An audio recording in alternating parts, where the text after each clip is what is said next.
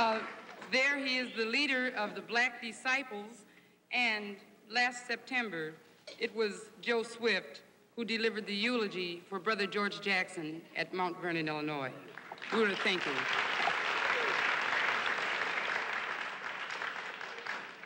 We've got a couple of announcements here. The SCEF organization is presenting Report from the South that will be Saturday night, June 10th at 8 p.m. The featured speaker will be Reverend Al Dorch of Operation Attorney Leo Branton.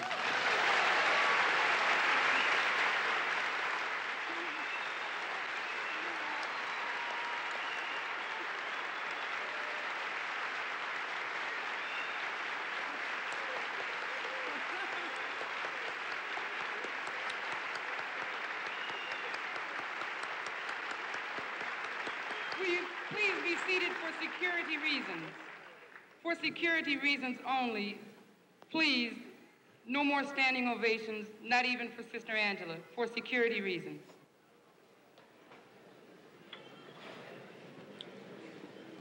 This place holds holds many memories for me. This hall, I studied for the bar exams uh, in this building. I appeared here as a co-chairman of the campaign to save the life of the Rosenbergs.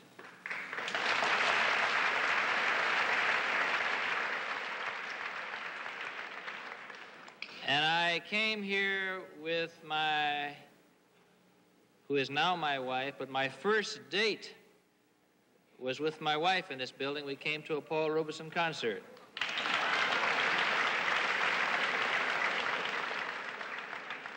So this place holds for me joy, tears, agony, and triumph. I'll let you put them in order. I assure you that neither the agony nor the tears belong to the fact that uh, I had my first date with my wife here. In any event, this is a night of triumph. It is Angela's triumph. It is a triumph of the people. And for that reason, I'm not going to make a speech.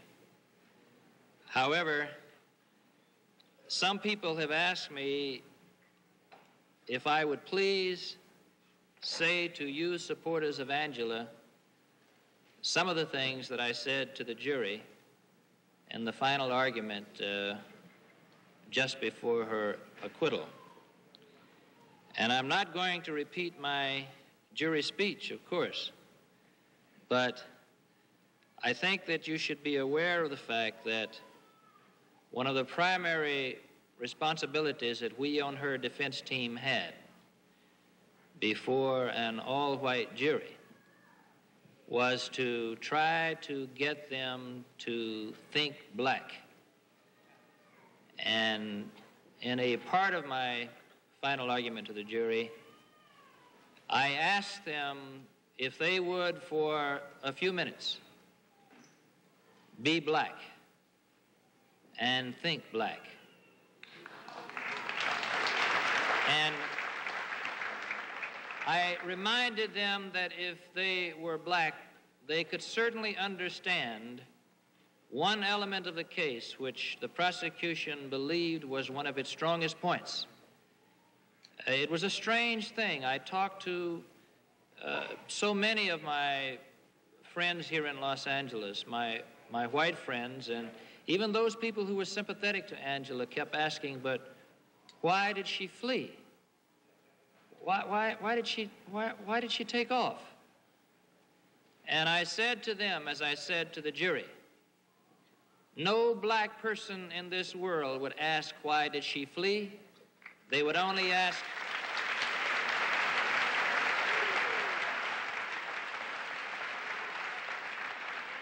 they would only ask, why did she allow herself to be caught?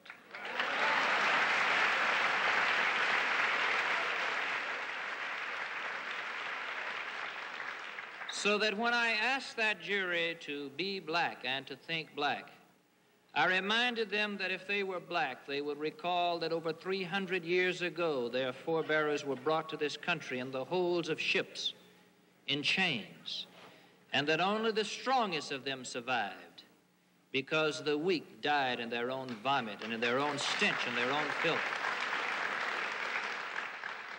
And when this country had its Declaration of Independence, and it declared that all men were created equal, it didn't mean black men, it meant all white men were created equal.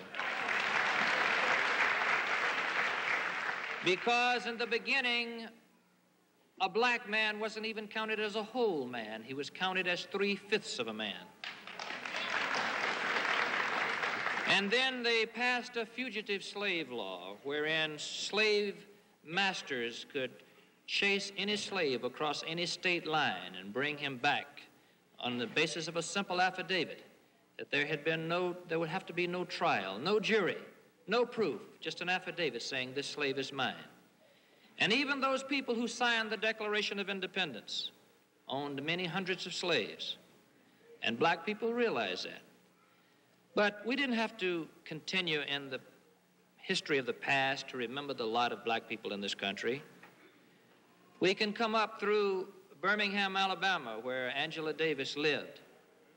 And we can remember the racism which existed and which brought about a situation where three young black girls were dynamited and killed in a church because of the fact that people were trying to be treated with equal dignity. And an Angela Davis, any black person would remember those things. And an Angela Davis would remember that every time any black person who tried to speak out for the dignity of man reared his head, he was assassinated like a Medgar Evers or a Martin Luther King or a Malcolm X.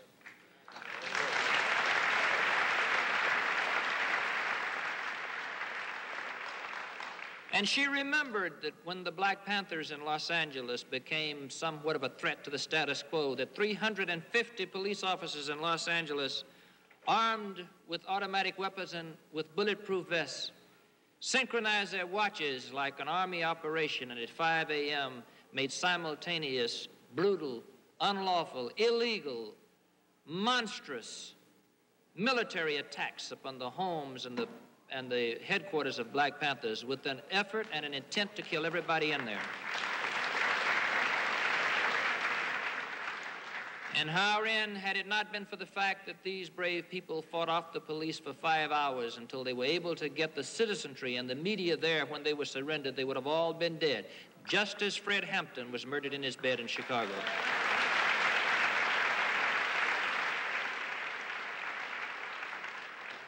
And so when Angela Davis knew that the power structure of this state was trying to connect her with the crime and with crimes with which she had no connection, all of these things must have flashed through her mind. And so, having this kind of a background, coming from that kind of history, and having those facts at her command, is there any doubt as to why she did take off and make herself, as we called, unavailable? In any event, I am delighted that she made herself unavailable, unavailable because she came back to fight a better day. And the better day, as you and I know, after a long, hard struggle, resulted in victory not only for Angela, but for the cause which she espouses so well. I am delighted and happy to have been a part of that fight. Thank you.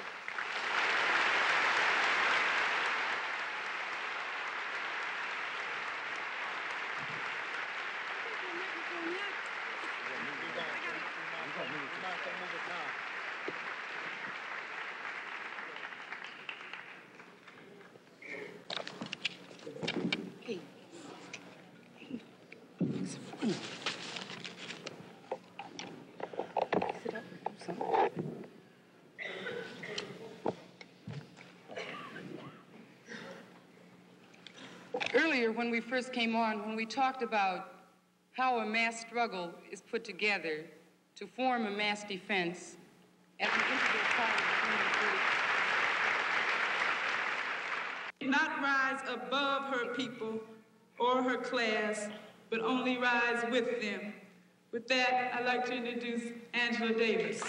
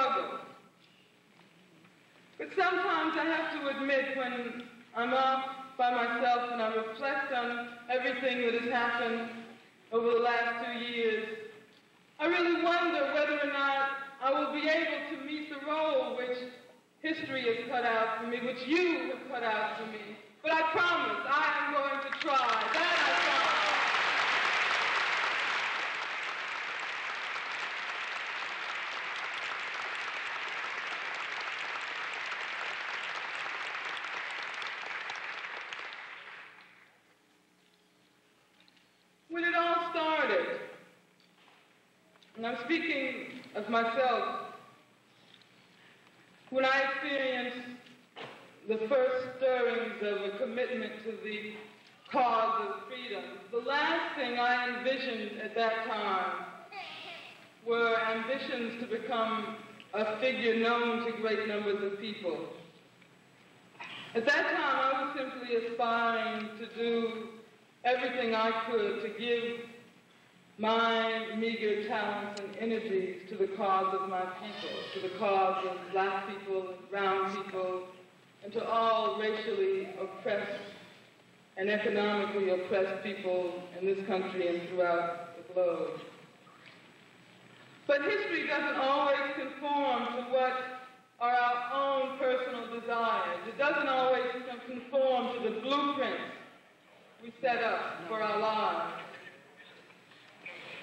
My life and the lives of my family, my mother, my comrades, my friends, has really been drastically transformed over the last two years. But what happened was that as our movement, and particularly our movement right here in Los Angeles, our movement to free political prisoners, our movement to free all oppressed people, as that movement began to grow and become stronger and develop in breadth, it just so happened that I was the one who, one of the ones who was singled out by the government's finger of repression. It just so happened that I was destined to become yet another symbol of what the government intends to do, what the government in this state would do to every person who refuses to be its passive, submissive subject.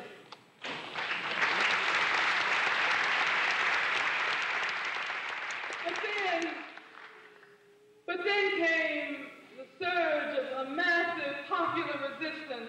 Then came thousands and thousands and hundreds of thousands of people who were rising up to save me as we had tried to rise up and save the Soledad brothers and other political prisoners.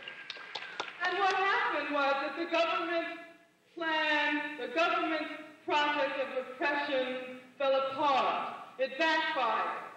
The government could not through me, terrorize people who would openly demonstrate their opposition to racism, to war, to poverty, to repression. And on the, on the contrary, people let it be known that they would not be manipulated by terror. They would stand behind all their sisters and brothers who had been caught in the government's web of repression. I was one of those who was entrapped in that web. And the thousands and millions of people throughout the world came together to struggle and save me from the fate the government had planned as an example to all of you who were disposed to resist. You intervened and saved my life. And now I'm back among you. And as I was, as I was wrested away from you in struggle, so likewise I return in struggle. I return, I with a very simple message, a very simple message. We have just begun our fight.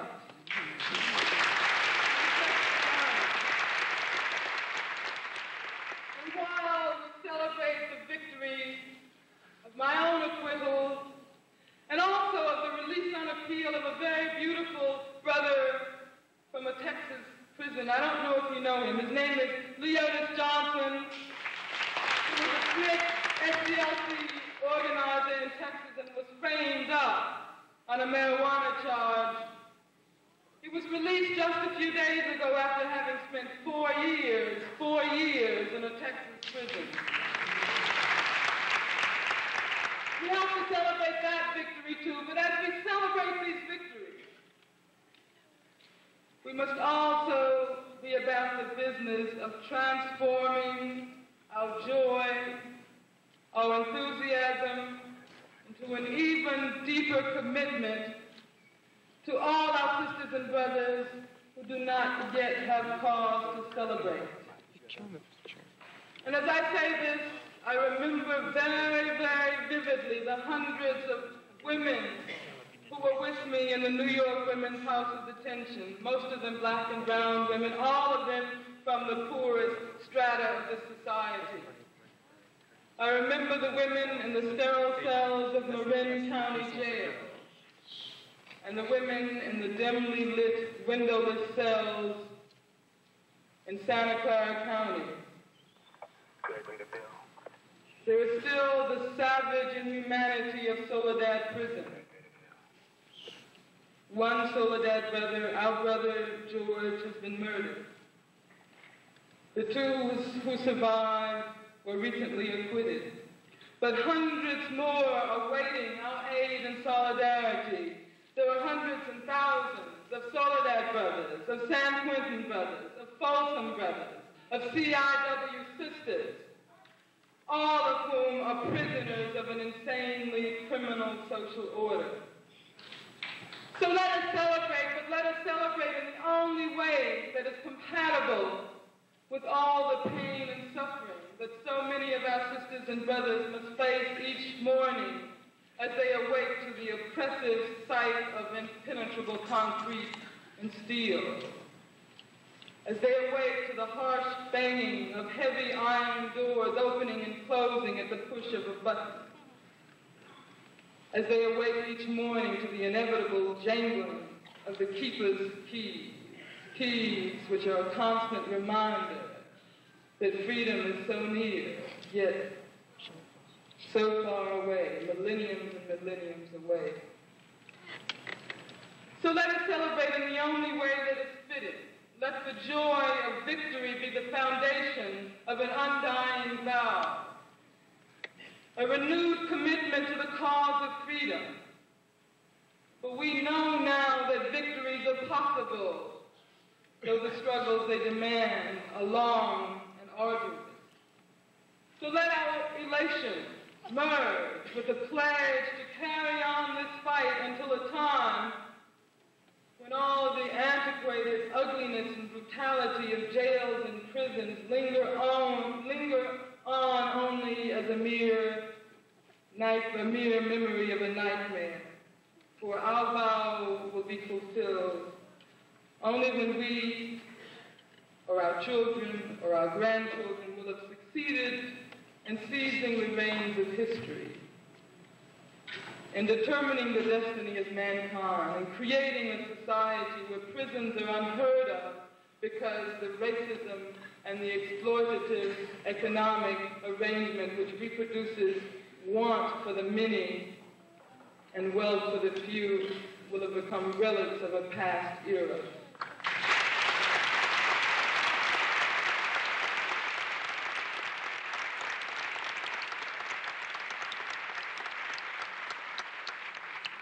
It's been said many times that one can learn a great deal about a society by looking towards its prisons.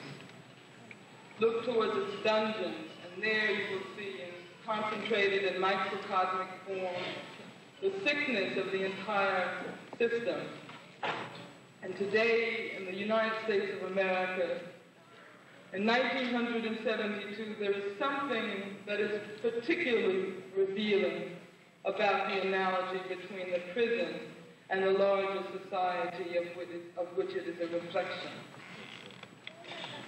For in a painfully real sense, we are all prisoners of a society whose bombastic proclamations of freedom and justice for all are nothing but meaningless rhetoric. For this society's accumulated wealth, its scientific achievements, swallowed up by the avarice of a few capitalists and by insane projects of war and other irrational ventures. We are imprisoned in a society where there is so much wealth and so many sophisticated scientific and technological skills that anyone with just a little bit of common sense can see the insanity of the continued existence of ghettos and barrios and the poverty that exists.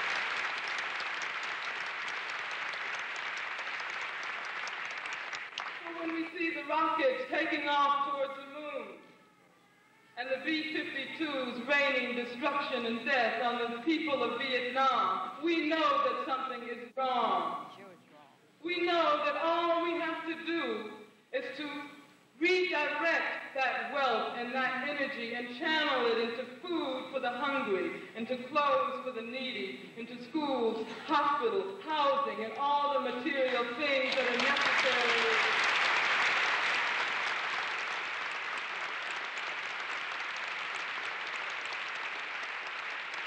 All the material things that are necessary in order for human beings to lead decent, comfortable lives in order to lead lives, lives which are devoid of all the pressures of racism and yes, male supremacist attitudes and institutions and all the other means with which the rulers manipulate the people. For only then can freedom take on a truly human meaning. Only then can we be free to live and to love and be creative human beings.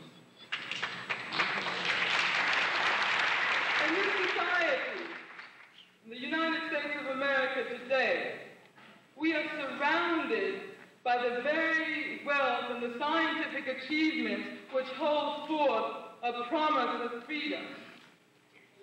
Freedom is so near, yet at the same time it is so far away. And this thought evokes in me the same sensation I felt as I reflected on my own condition in a jail in New York City.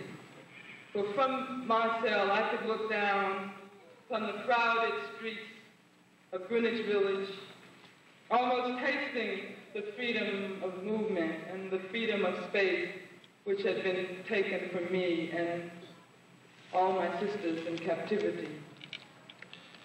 It was so near, but at the same time so far away, because somebody was holding the keys that would open the gates to freedom.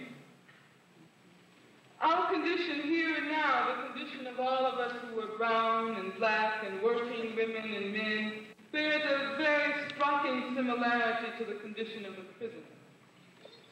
The wealth and the technology around us tells us that a free, humane, harmonious society lies very near.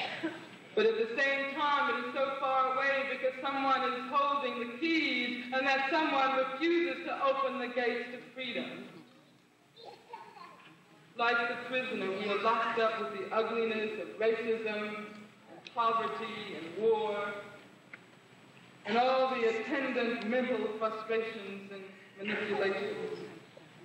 We're also locked up with our dreams and visions of freedom and with the knowledge that if we only had the keys, if we could only seize them from the keepers, from the Standard Oil, the General Motors, and all the giant corporations, and of course from their protectors, the government, if we could only get our hands on those keys, we could transform these visions and these dreams reality.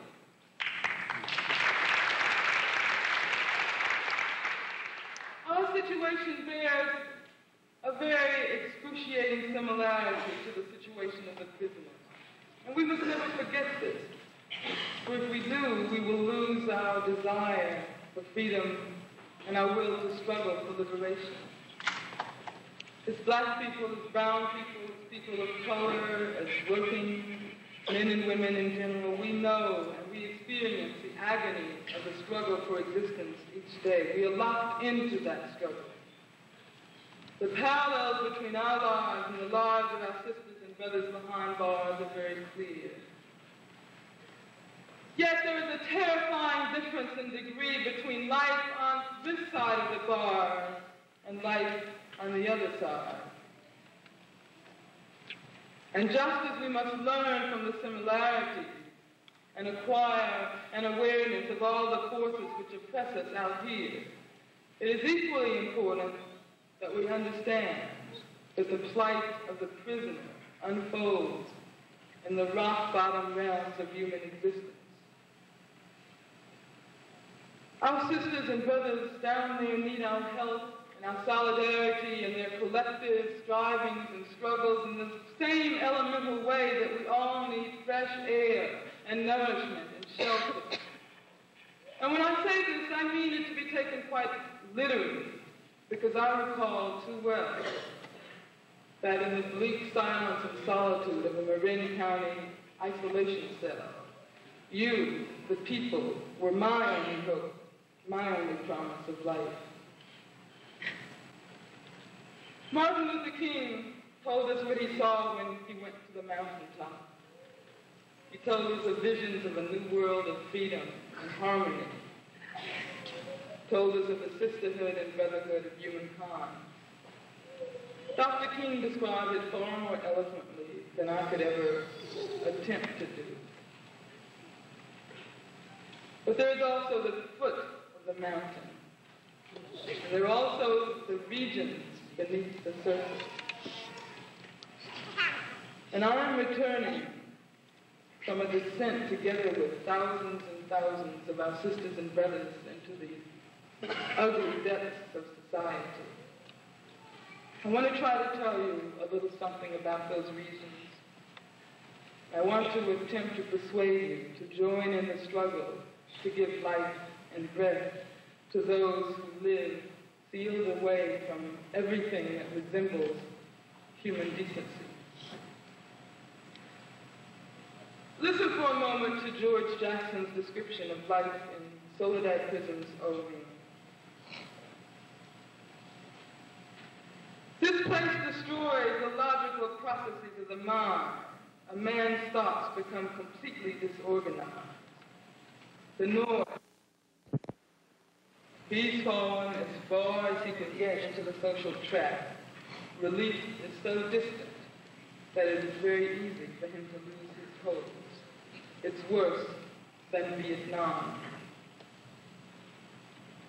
And the guards with the carbines and their sticks and tear gas are there to preserve this terror, to preserve it at any cost. This, in fact, is what they told us at the trial in San Jose. I'd like to read a passage from our cross-examination of one Sergeant Murphy, who was being questioned about San Quentin's policy of preventing escape. Question. And to be certain I understand the significance of that policy, sir, does that policy mean that if people are attempting to escape, and if they have hostages, and if the guards are able at all to prevent that escape, that they are to prevent that escape even if it means that every hostage is killed? Answer, that is correct. Question, and that means whether they're holding one judge or five judges, or one woman or 20 women, or one, children, one child or 20 children, that the policy of San Quentin guards is that at all costs they must prevent the escape. Is that right? Answer. That also includes the officers that work in the institution, sir. Question. All right. Even if they are holding other officers who work at the institution, that should not deter the San Quentin correctional officers from, from preventing an escape at all costs. Is that right?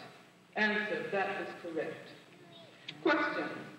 In other words, it is more important to prevent the escape than to save human life. Is that correct? Answer, yes, sir. Yes, indeed.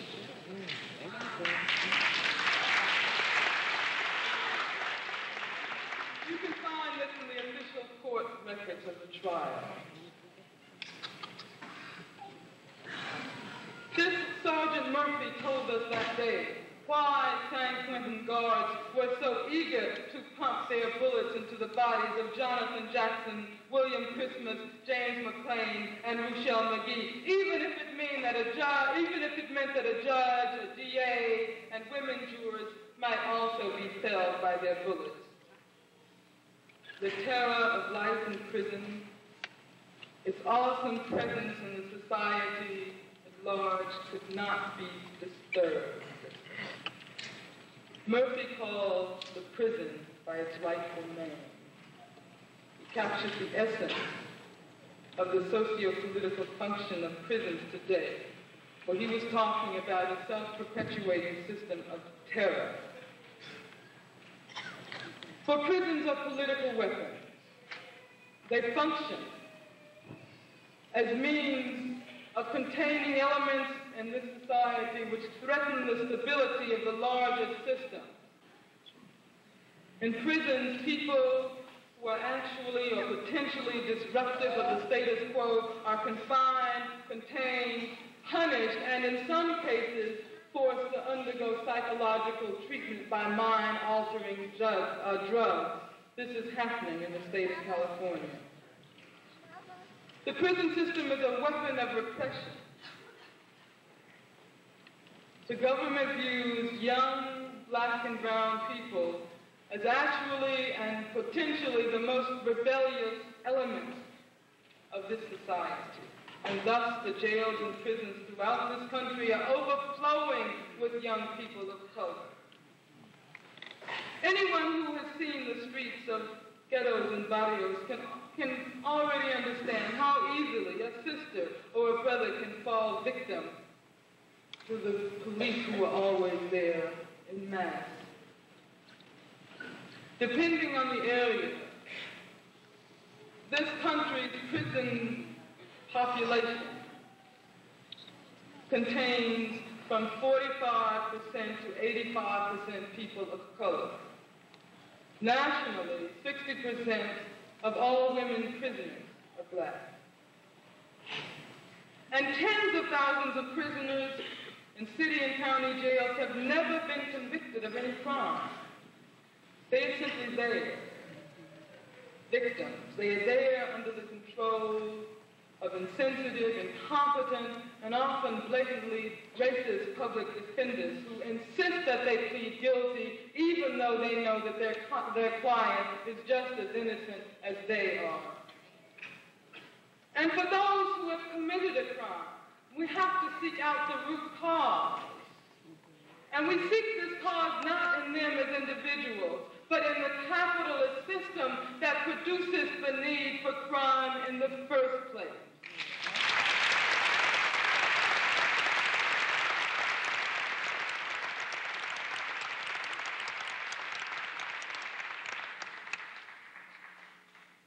As one student of the prison system has said, Thus the materially hungry must steal to survive, and the spiritually hungry commit antisocial acts because their human needs cannot be met in a property-oriented state. It is a fair estimate, he goes on to say, that somewhere around 90% of the crimes committed would not be considered crimes or would not occur in a people oriented society. In October 1970, a prisoner who had taken part in the Tombs Rebellion in New York gave the following answers to questions put to him by a newsman. Question, what is your name? Answer, I am a revolutionary. Question, what are you charged with? Answer, I was born black.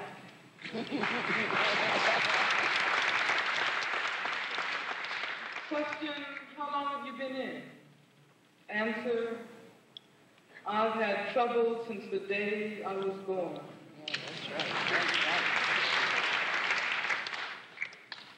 Once our sisters and brothers are entrapped inside these massive medieval fortresses and dungeons, whether for nothing at all, or whether for frame-up political charges, whether for trying to escape their misery through a petty property crime, through narcotics, or prostitution. They are caught in a vicious circle.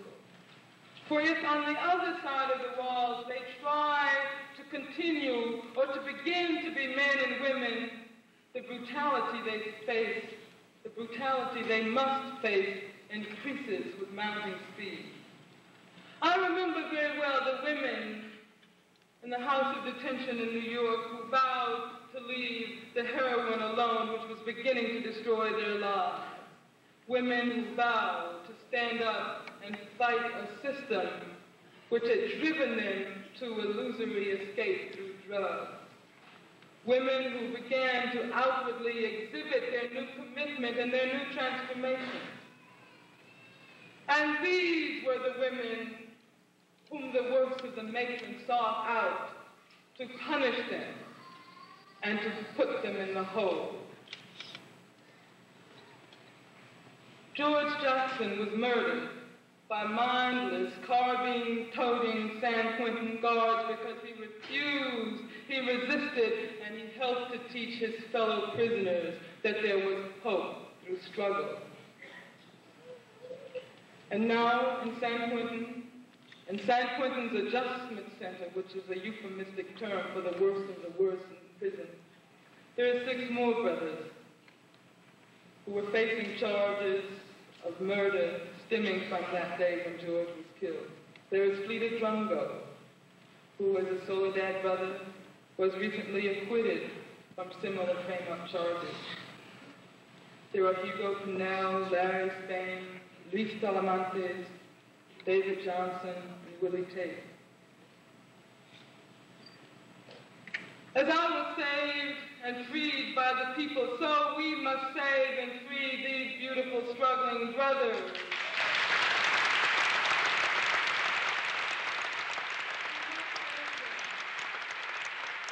We must also save and free Ruchell Magee.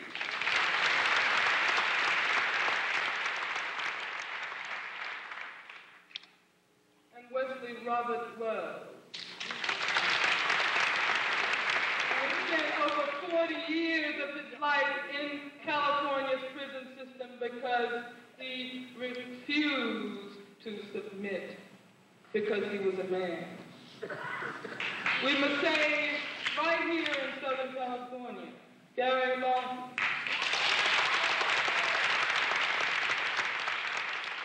And Geronimo Ortega and Ricardo Chavez.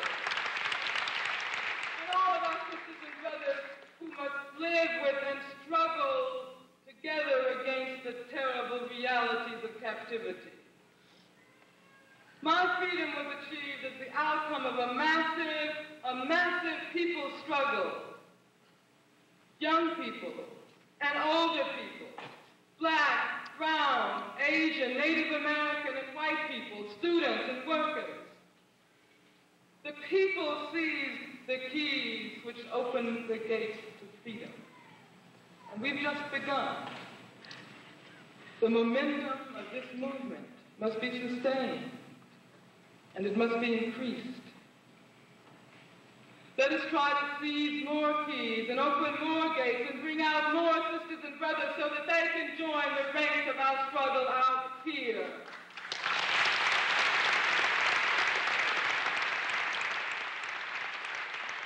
In building a prison movement, we must not forget our brothers who were suffering in military prisons, in the stockades on bases throughout the country and across the globe. Let us not forget Billy Dean Smith.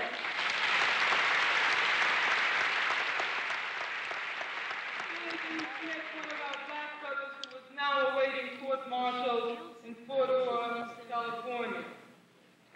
In Vietnam, this courageous brother from this city, from in I think, would not follow orders. For he refused, he refused to murder the Vietnamese whom he knew as his comrades in the struggle for liberation. He would not follow orders. And the he was a very, very dangerous example to the other GI. He had to be eliminated.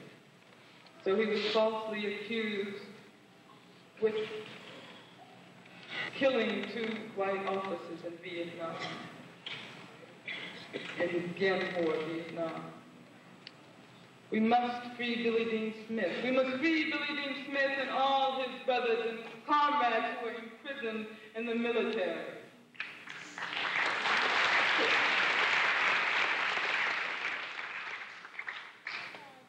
Must be about the business of building a movement so strong and so powerful that it will not only free individuals like me, like the Soledad brothers, the San Quentin Six, Billy Dean Smith, but one which will begin to attack the very foundations of the prison system itself.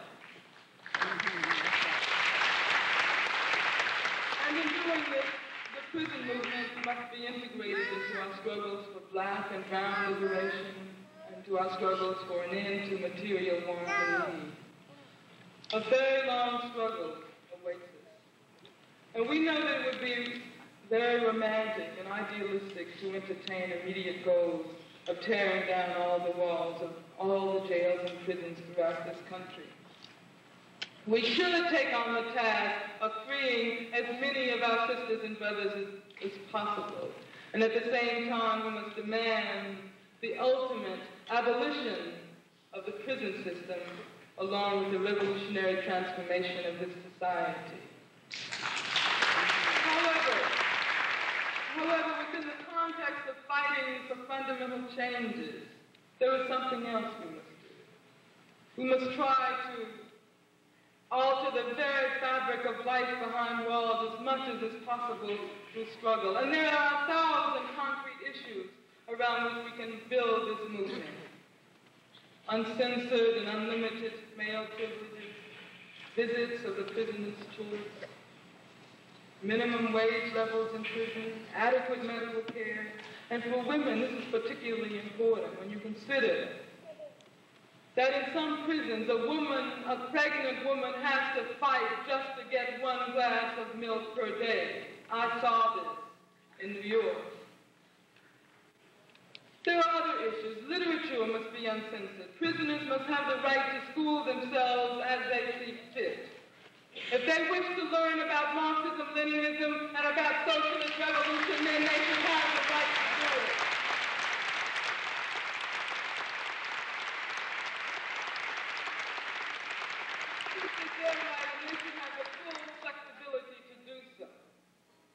There should be no more kangaroo courts behind prison walls. There should be no more kangaroo courts wherein one can be charged with a simple violation of prison regulations and end up spending the rest of one's life there simply because the board have it that way. There must be an end. There must be an end to the tormenting, indeterminate sentence policy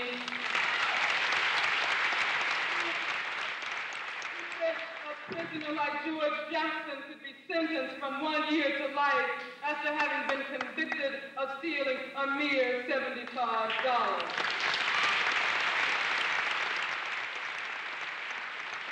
If you talk to any prisoner in the state of California, and in other states where the indeterminate sentence law prevails, they will inevitably say that this is the most grueling aspect of life in prison. going before a board of ex-cops, ex-narcotics agents, ex-FBI agents, and ex-prison guards, and year after year after year after year being told to wait it out until next time. These are just a few of the issues that we are going to have to deal with. And all of them, every single one of them, is the kind of issue which any decent human being should be able to understand the need, the very urgent need to join our sisters and brothers behind bars in their struggle was brought home during the rebellion and the massacre at Attica last year. And I would like to close by reading a brief passage from a set of reflections I wrote in Marin County Jail of the Attica Revolt and Massacre. The damage has been done. Scores of men, some yet nameless, are dead. Unknown numbers are wounded.